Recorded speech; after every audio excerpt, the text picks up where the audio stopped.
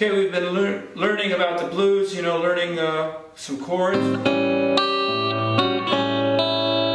I want to incorporate some of our riffs in here. I was just thinking of this one a few minutes ago that goes. Well, here it is by itself. How am I going to put that into my song, you know?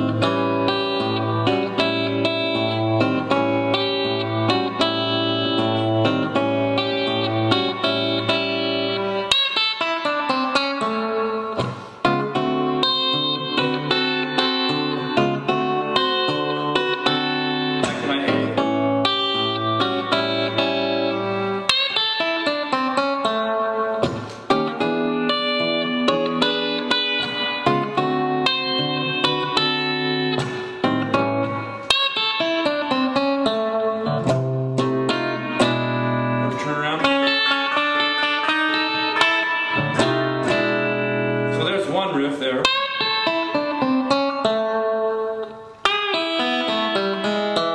That's an E. And we could do that one for the E chord, so let's get into it. We got, uh, say we're at the D.